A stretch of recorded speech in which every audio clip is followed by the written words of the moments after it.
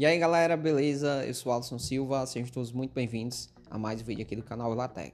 E o vídeo de hoje é fazendo uma reflexão sobre o uso do meu aparelho principal, que é esse daqui, Galaxy S23 Plus. A galera que já me acompanha já sabe, se você não me acompanha e não tá sabendo disso, olha aí embaixo você é inscrito. Se não for, clica na opção inscrever-se, ative o sininho de notificações e claro, deixe o seu gostei nesse vídeo. Eu passei uma jornada aí de mais de dois anos utilizando o iPhone até eu retornar para o Galaxy. E teve alguns motivos que me fizeram retornar. Acho que tem até vídeo que eu já gravei aqui no canal e expliquei tudo isso. Passei para um S20 FE e depois de um tempo peguei esse camarada aqui, o S23 Plus, que posso falar para vocês de forma sincera que esse daqui é o melhor dispositivo que eu já usei em termos de tudo: tela, bateria, desempenho, câmera. Cara, um aparelho sensacional. Até o momento hoje eu não tenho a necessidade de trocar isso daqui por nenhum outro aparelho.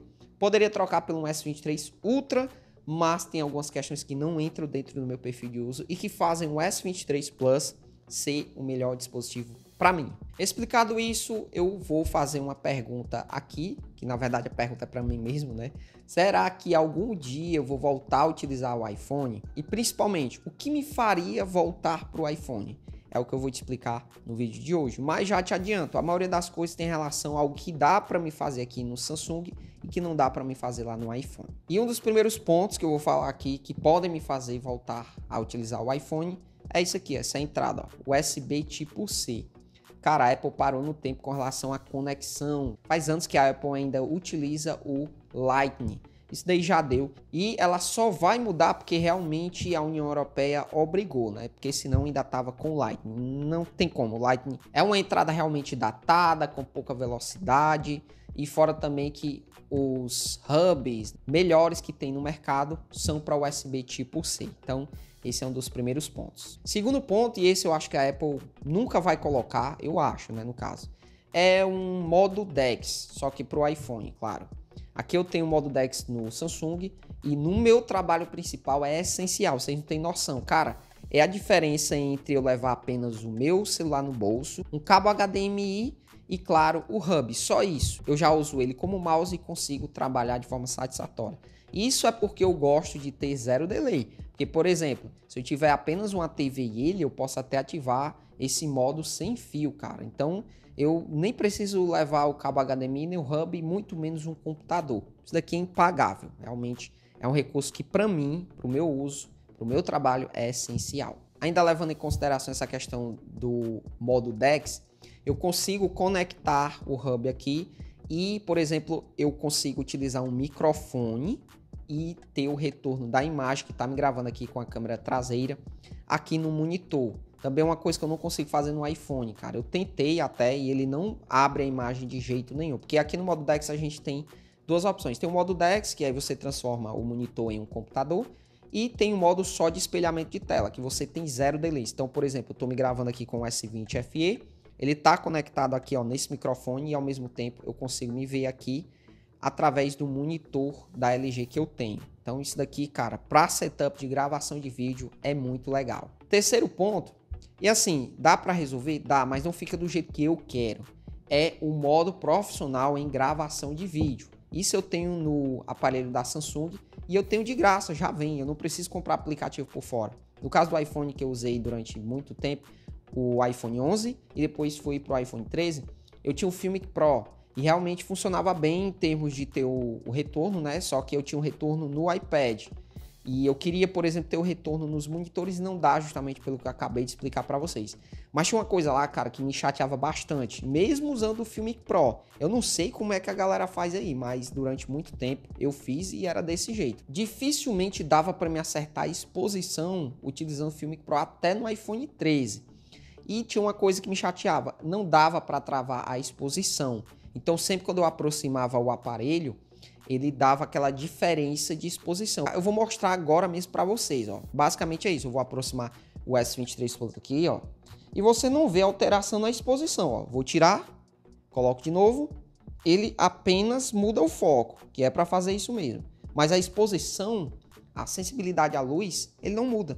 No caso do iPhone, ele mudava, cara. Isso me chateava bastante, principalmente quando eu estava usando a câmera 2. E outra coisa, Com relação ao controle de ganho de exposição, quando eu aumentava, é um negócio muito assim esquisito.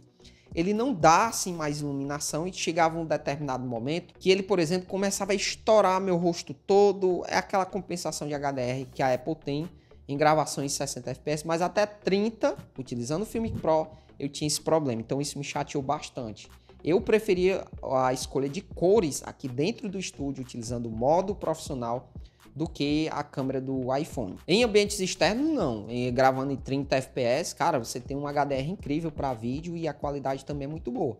Mas aqui dentro do estúdio, onde você tem que ter um maior controle dos parâmetros, não tem o que fazer. Eu prefiro a câmera do Galaxy, né, com o modo profissional de vídeo. E o último ponto que eu quero falar para vocês que se der para fazer isso no iPhone, eu posso até voltar, que é instalar emulador. Eu consegui instalar um tempo utilizando o Scarlett e instalando o emulador, só que é um ponto que eu já falei para a galera, eu tenho que pesquisar depois, né?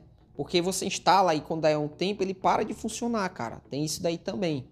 E assim, não venham me dizer que, ah, mas aí é fácil, não sei o que. É fácil instalar. Você instala e depois a Apple praticamente revoga, né? E outra coisa também, não é mais fácil que no Android. No Android você simplesmente baixa o APK, clica lá e instala. Você não precisa de aplicativo extra, você só baixa no navegador e consegue instalar qualquer aplicativo. E no caso de emulador, eu consigo fazer isso aqui muito fácil. Inclusive, eu transformo ele em um console. Através do modo DeX, eu consigo rodar o emulador do GameCube até PlayStation 2. Isso daí para mim é incrível. Então, são três pontos com relação ao meu trabalho e o quarto ponto é com relação a lazer, né? Porque eu gosto de jogar. Então são esses quatro pontos aí, viu, galera?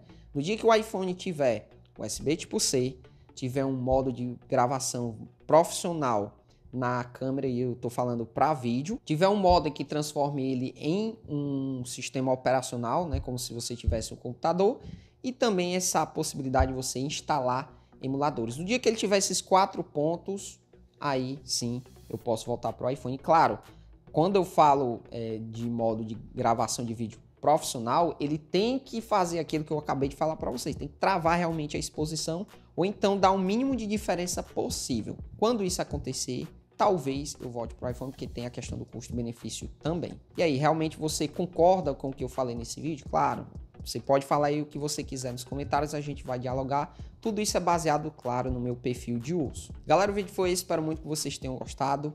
Passa lá no Insta, Vilatec, por lá você tem novidades do canal Primeira Mão.